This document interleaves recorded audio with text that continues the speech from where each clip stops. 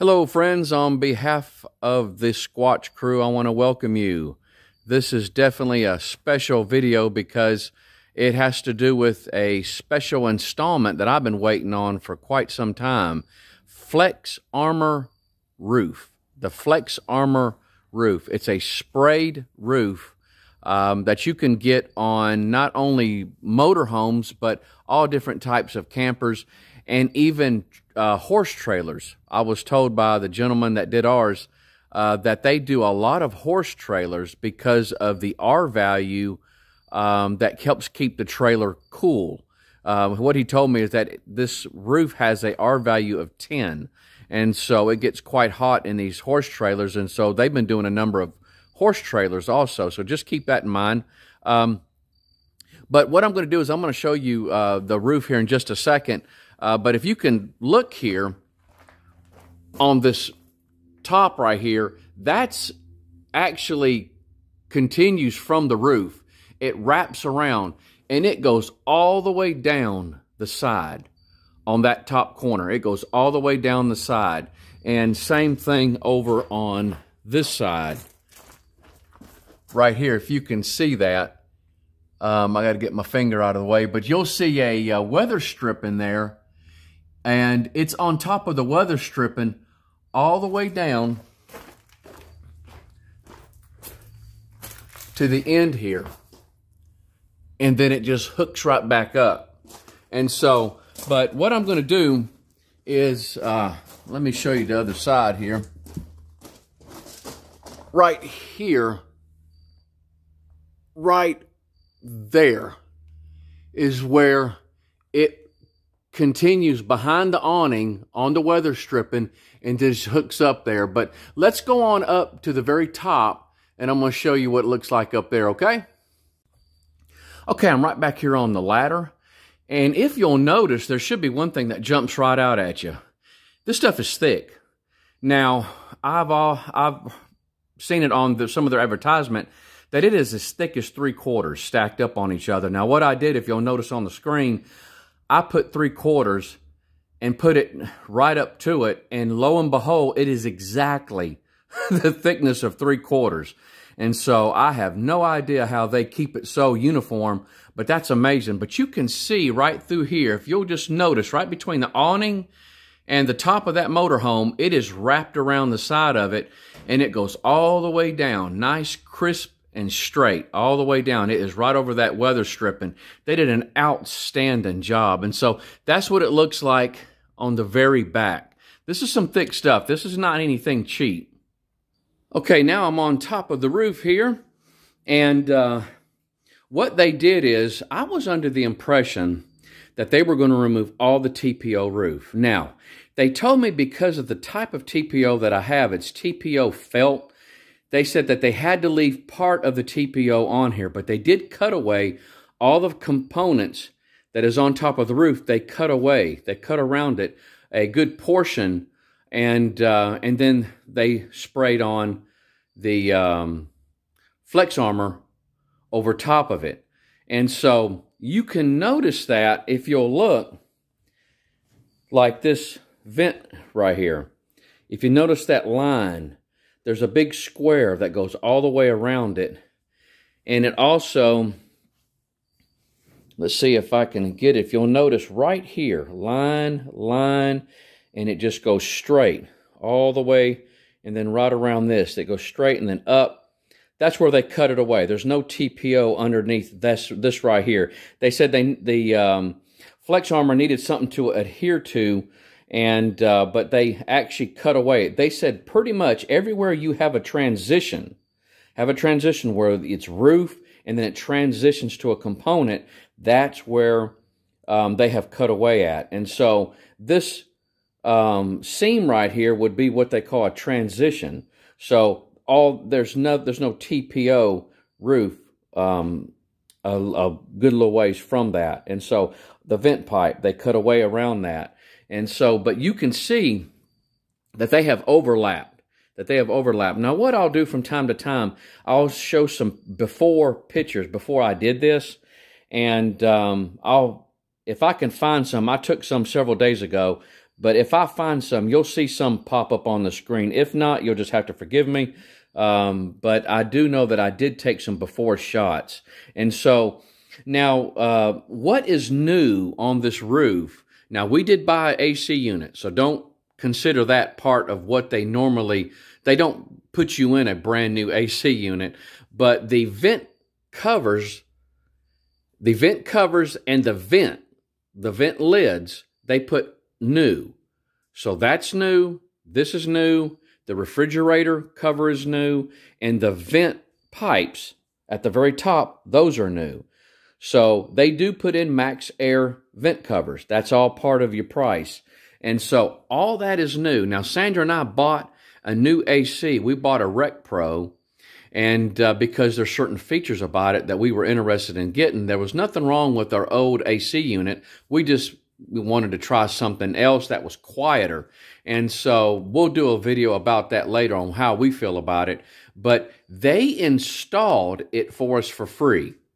Um, Flex Armor uh, installed it for free. They didn't charge us anything. Now, I can't say all Flex Armors do that, but the, the Flex Armor and, um, and RV Roof Greensboro, North Carolina, they installed ours with no extra charge, mainly because they told us they're going to have to remove the AC unit anyway to do this. And so they put new seals down. Now, so if you have an AC unit and you're getting a Flex Armor roof, they will take your AC off and put a new seal underneath that. And the guy that um, that we talked to, Eric, um, he told us that they recommend every five to seven years that you do put a new seal on your under your um, your AC unit. And so, uh, very knowledgeable fella. But what I wanted to point out also about this um, skylight. Now, he gave us the choice. He said, we can either, now you guys may hear our cat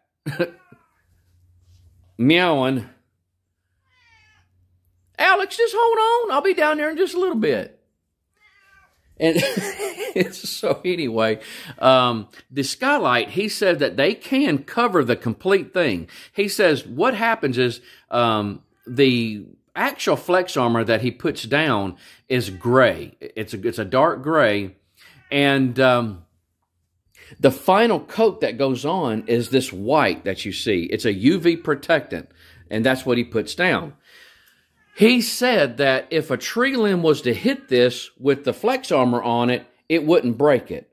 But he says now because we did not want that covered, if it does break and we have to get a new skylight, we're going to have to bring it back to them so they can cut it, put it on, and then spray around it. And so that's the only thing.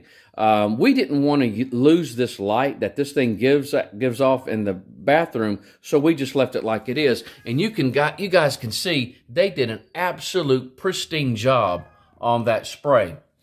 And so but uh, at any rate, the um, this uh, also they can remove anything that you don't want on your roof. Now, I had a wind guard here and a Sirius antenna. Never used it in three years. Um, ever since we've had the motorhome, so I had them remove that. So they removed that. So that is that looks absolutely great right there. But you can see again, you can see where they cut away. They cut away um, and to put this uh, flex armor down. So there's no TPO where you see those lines right there. And so, and then here's the front seam, which seems to give so many people, you know, a hard time. I think it gave us a hard time because I was pretty OCD on this, keeping this thing spot sealed. And we still discovered a tiny little leak over somewhere on this side. And so, but they did overlap it and they came, ah, I'm trying to give you a little visual on how far they came. And so I'm five foot seven. I don't have a gigantic hand. And so, but that gives you an idea of how far they came past that. And so, um, guys, as far as I'm concerned, it would possibly take a crowbar to get this stuff off this roof here. It is, I noticed a, um, a significant difference just walking on it. It's extremely thick. And so, but he said, now as far as weight, how much weight did it add on to the RV? He said that it adds about a half a pound per square foot. A half a pound per square foot square foot. So he said for our size um, motorhome, it added about 74 pounds, and that's minus the stuck the components that they took off, which it was just a wind guard in a Sirius, so it wasn't much. And so, but um, I'm just extremely impressed. He says we can wash it with whatever we want to. Dawn liquid soap. He says there's no special um, uh, soap that you have to use on this material. You can use whatever you want.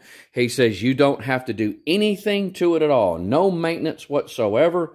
He says this white down here, that is your protective coating. Before I used to put down, I used to take a, a sponge sponge mop and I would sponge mop the UV prote protective coating. That stuff that you, you would get at your camping stores. I made sure I always did that, usually about twice, three times a year sometimes.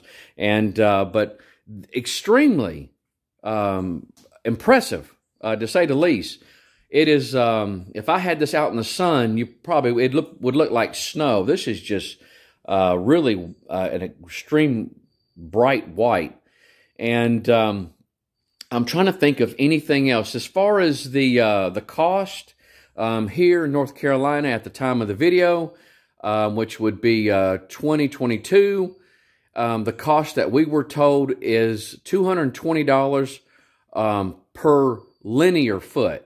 And so we had 18 and a half linear feet. And for what I'm gathering, they probably took off um, any type of linear footage for the components that was on here. So that was our price. The grand prize, the grand prize, which it is a prize. The grand price um, that we spent on this was $4,354. And so, uh, again, guys, I am extremely happy. I will put a link in the description below for my YouTubers um, if you want to check that out.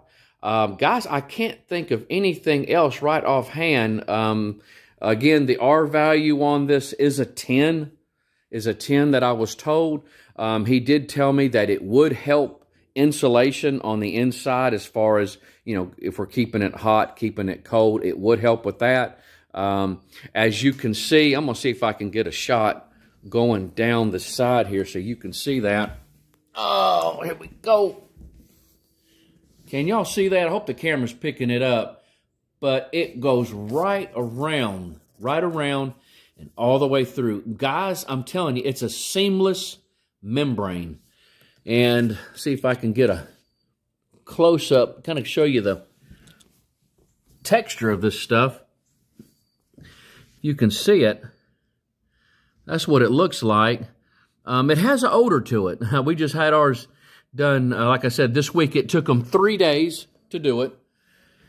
And uh, guys, I, I tell you, it, I really can't, really, it, it's hard to really put into words um, exactly the difference walking on this. I mean, it adds structural integrity to the roof because it's not only on top of the roof, but it wraps around both sides it adheres to the metal on the front and the back.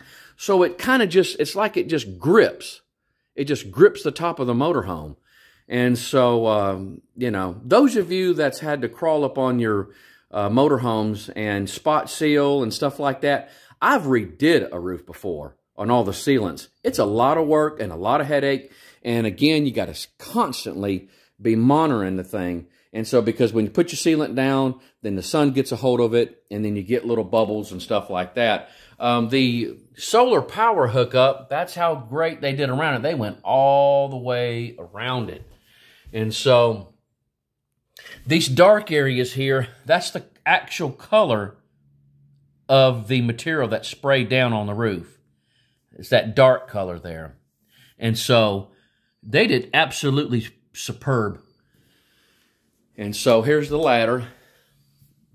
Now you might say, oh, there's a little air area. No, that's just where that uh, UV protectant didn't quite cover it all. That's just the darkness of the uh, the spray. And so, lifetime warranty. Whenever they sent our warranty in the, on the email, it had everything about our motorhome and it was attached to the VIN number. So if I sell this RV to somebody else, that warranty transfers over to the new owner. And if they sell it to somebody else, then it transfers to the new owner. It's the lifetime warranty of the RV as long as it's in use or has an owner. Uh, and so I had somebody say, who gets to say what's the lifetime of a warranty is?